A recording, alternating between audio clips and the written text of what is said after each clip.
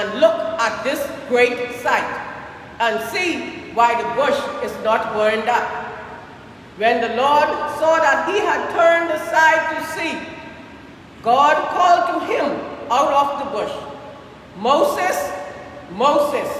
And he said, Here I am. Then he said, Come no closer.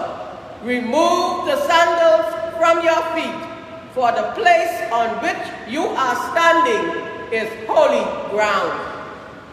He said further, I am the God of your father, the God of Abraham, the God of Isaac, and the God of Jacob. And Moses hid his face, for he was afraid to look at God. Then the Lord said, I have observed the mystery of my people who are in Egypt. I have heard their cry on account of their taskmasters. Indeed, I know their sufferings, and I have come down to deliver them from the Egyptians and to bring them up out of that land to a good and broad land, a land flowing with milk and honey to the country of the Canaanites, the Hittites, the Amorites, the Perizzites, the Hivites, and the Jebusites. The cry of the Israelites has now come to me. I have also seen how the Egyptians oppress them. So come, I will send you to Pharaoh to bring my people, the Israelites, out of Egypt. But Moses said to God, who am I that I should go to Pharaoh and bring the Israelites out of Egypt? He said, I will be with you, and this shall be the sign for you that it is I who sent you. When you have brought the people out of Egypt, you shall worship God on this mountain. The word of the Lord. Thanks be to God office hymn 186. 186.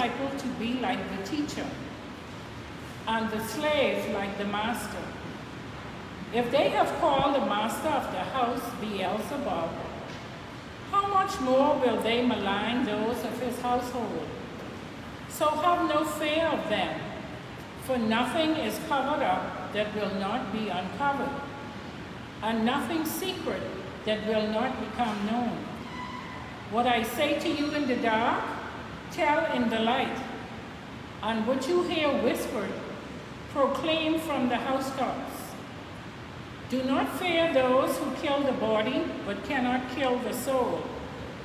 Rather fear him who can destroy both soul and body in hell.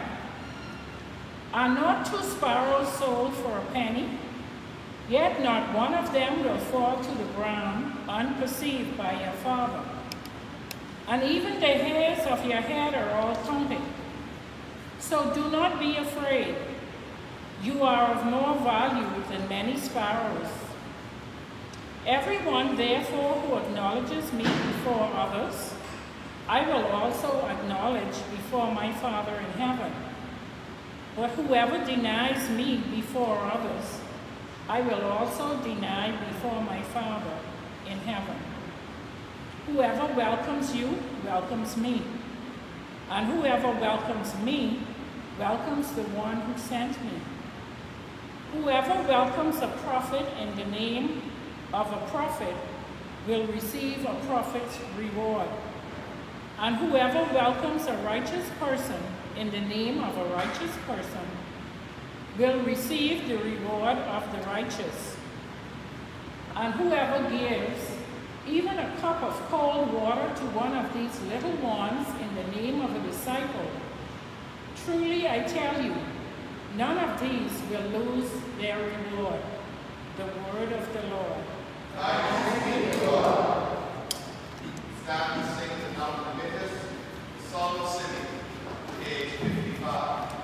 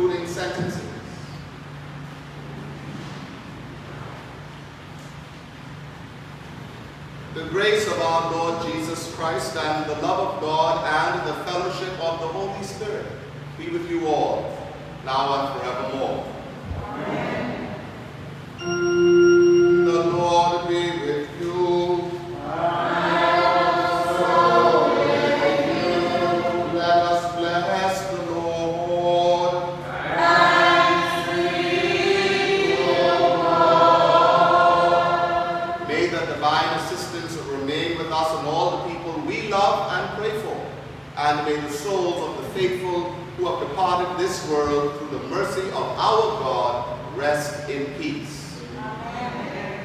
The hymn before the sermon, 195, 195.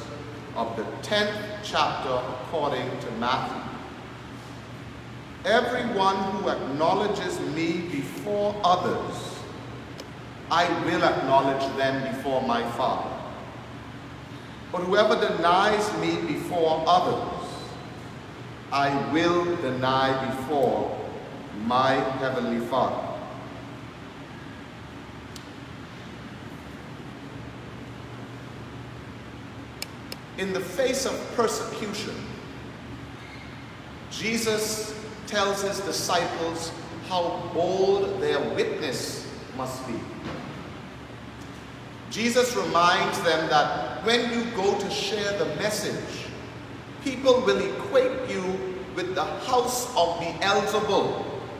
The word Beelzebul actually means house of the Lord, but not the Lord of heaven, the Lord of darkness. Jesus tonight reminds his disciples that if they had the choice, if they were faced with what they should decide, if we were to do good or we were to do bad, or if you were in a situation where somebody wanted to take your life for the gospel, Jesus reminds them, fear not the people who can kill the body.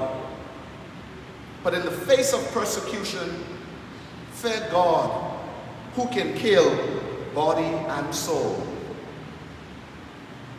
In our Christian journey today, how bold is our Christian witness? Many of us can be classified as cowards. We are bold to tell off people and bold to set them straight and bold to talk all manner of evil or gossip against one another. But how bold are we to go out into the world, which we heard in the gospel today, into our own families and spread the good news? Jesus says, do not be afraid of people when you have to take this good news to a world that is hurting, to a world that needs rescuing, to a church that seems to sometimes be self-imploding.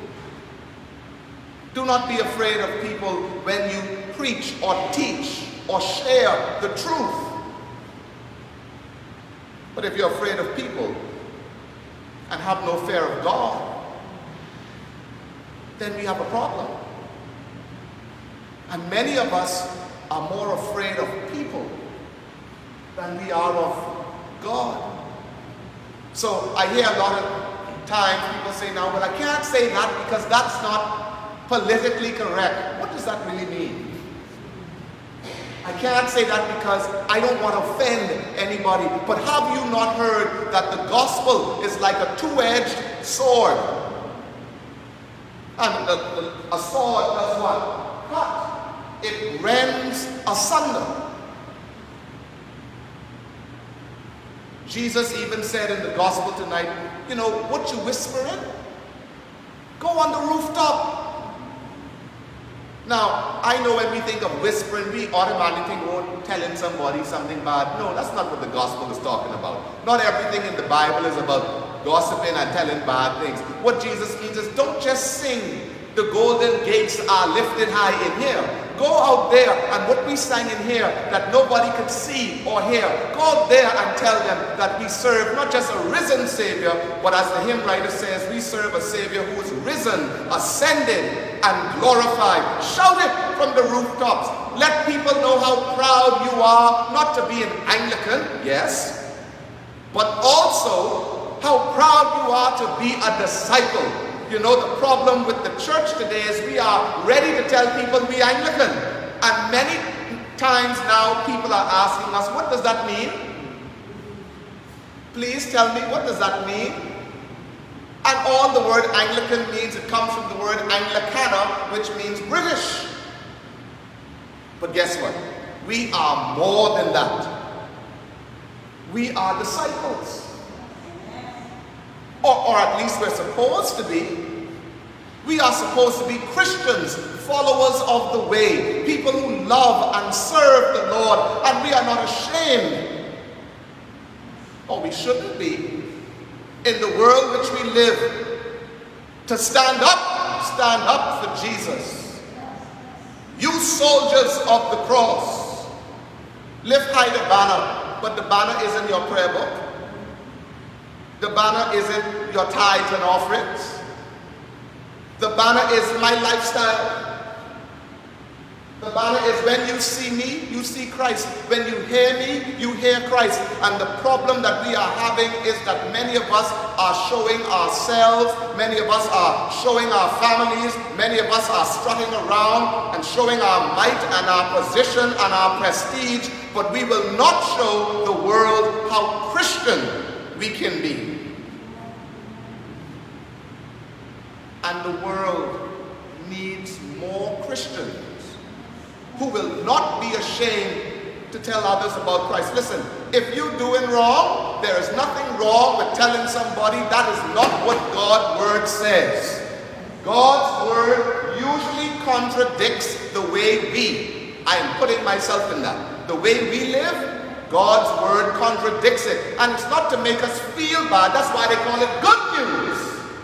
Because the good news is supposed to get us on the right path. The good news is setting the crooked path straight. The good news is leveling the playing field. The good news reminds us that the wages of sin is death, but the gift of God is eternal life. The good news reminds us that when a sinner comes to Jesus, angels in heaven rejoice. The good news reminds us of what it means to follow Jesus.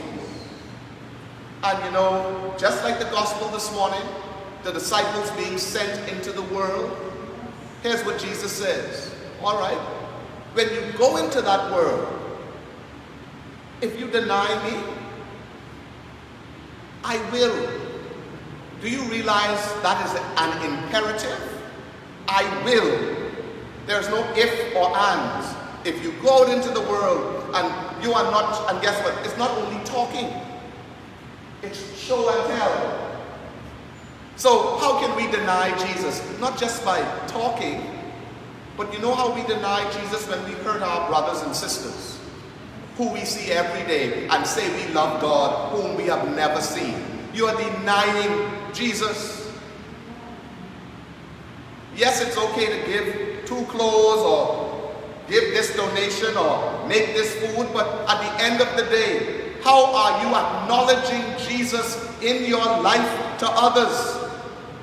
I always like to ask the question that my, I could hear my grandmother asking, what have you done for the kingdom of God? Who have you brought to Jesus Christ by being an Anglican? Because of you just loves Jesus a little more? Who, because of you, decided that the way of the world leads to destruction, but the narrow path is the road I need to take because of you? Jesus says to us that if we deny him before others, but the disciple who rejects Christ to save his life here on earth cannot rely on Jesus to defend them on Judgment Day.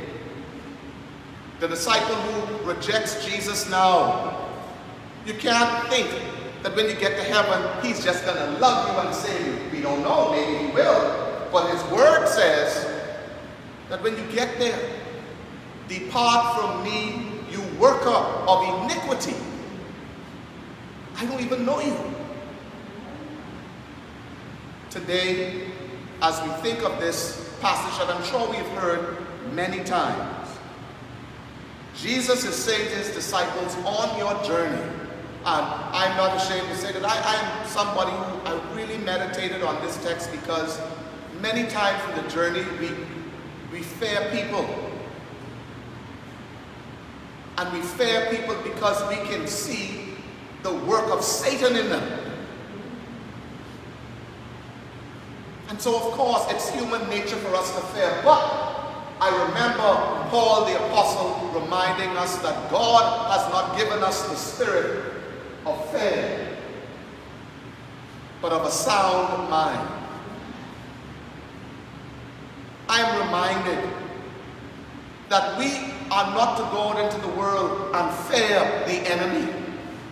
Because Paul says to the church at Rome, we are more than overcomers through Christ Jesus. And as the hymn we just sung says, while we, his soldiers, praise our King, his mercies we implore. And that is what Jesus says. When you go into the, into the world, when my disciples go into the world and on their mission, they will encounter people who will try to stop the gospel. Could you believe that in those days, those first century Palestine Jews, they all died? Why? Because people did not want to hear the message. Look at how all the apostles died. They were slaughtered or killed. The only one who I think died of just old age is John. They tried to poison him, but he blessed the cup. And the snake, which represents the poison, came out. But look how all of them died. Because people didn't want to hear it. Because this Jesus thing wasn't popular then. And believe it or not, it's not popular now. Because people would rather choose everything else than the way and the Word of God. I ask you tonight, where in your life have you not, have you not acknowledged Jesus? Where in your life have you not been bold enough to let whomever, wherever know that I belong to Christ? A chorus we used to sing in St. Vincent that they still sing, I'm sure, that says, I'm not my own, I belong to Jesus. I'm not my own, I belong to Him. He bled and died on Calvary. I'm not my own, I belong to Him. Are you ashamed of that? And if you are bold enough to say, Father, no, I'm not ashamed, then let your lifestyle match up with that kind of boldness. Let people in the world see that, hey, listen, I don't have to smoke. I don't have to drink. I don't have to talk bad about people. Because that's not who God has called me to be. I don't have to pull down my brothers and sisters to get ahead or to make myself look good. Because, and Pinky read it so lovely tonight, she said, a servant is not above the teacher. And the master is not above the slave. So you know what that te teaches me? We all on the same level. And when we are ready to acknowledge that in the sight of God, we are all one family, we are all one in the Spirit, we are one in the Lord, when we are ready to go out into the world and tell people that I belong to Him, and yes, my lifestyle may not be like yours. Yes, I don't have to, you know, people who when they tell a joke, they got a curse in the joke. Not all of us have to do that. Some of us could tell a good, clean, happy joke and make people laugh. And then people look at you funny when you don't do what they do. And here's what they will say. Oh, that is Beelzebub. That is the house of the, the dark lord. Because we don't do what they do.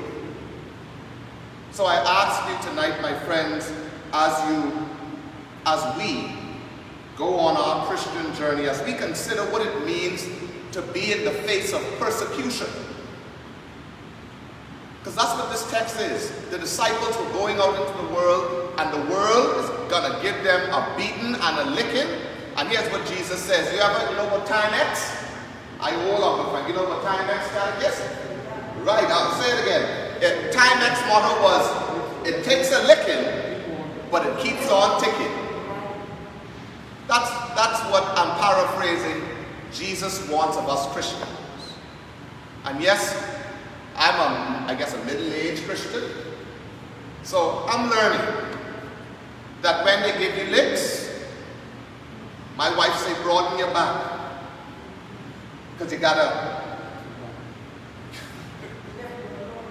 you gotta take a licking and keep on ticking. And I, and I really do hope I say that for me. Here's the thing, can you say the same for you? Because so many of us buckle because the world is a cycle. So many of us cower in fear when sickness come upon us rather than being bold and courageous, letting the world know, even when you get sick, you know, don't stop believing, don't stop trusting. When loved ones die, don't, don't, don't lose hope in the God who gave them life. Because we all must die. So Jesus says tonight, if you deny me, I'll deny you. But if you acknowledge me, if you tell the world about me, even if you suffer for it, he says, I will acknowledge you before my Father in heaven. As we kneel before the Blessed Sacrament, where are you tonight on the spectrum? Have you acknowledged God by your life? Or have you denied Him by your life? The choice is yours. Thanks be to God.